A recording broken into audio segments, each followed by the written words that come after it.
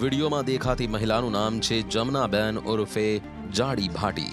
જમનાબેન ગાંજાનો ધંધો કરતી હોવાની પોલીસને બાતમી મળતા જ પોલીસે રેડ કરી ત્રણ કિલો ચારસો ગ્રામ ગાંજાનો જથ્થો કબજે કરી આ મહિલાની ધરપકડ કરી છે. મહિલાની પૂછપરછ કરતા તે આ જથ્થો સુરતની કોઈ ઝૂંપડપટ્ટીમાંથી લાવી હતી તેવું જણાવ્યું હતું.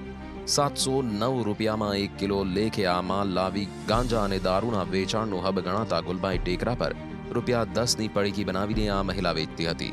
એનડીપીએસના ગુના હેઠળ પોલીસે મહિલાની કરી ધરપકડ જમના છેલ્લા કેટલાક સમયથી ગાંજાની પડીકી વેચતી હતી. ઘરમાં દસ દસ રૂપિયાની પડીકી બનાવવી અને ખાટલામાં એક કપડા નીચે સંતાડીને રાખતી અને ગ્રાહક આવે એટલે સેકન્ડોમાં માલ આપી રવાના કરી દેવાની સૂઝથી ધંધો કરતી હતી આ મહિલા. હાલમાં પોલીસે રિમાન્ડ મેળવી, સુરતમાં કોની પાસેથી માલ લાવી હતી તે દિશામાં પૂછપરછ કરશે.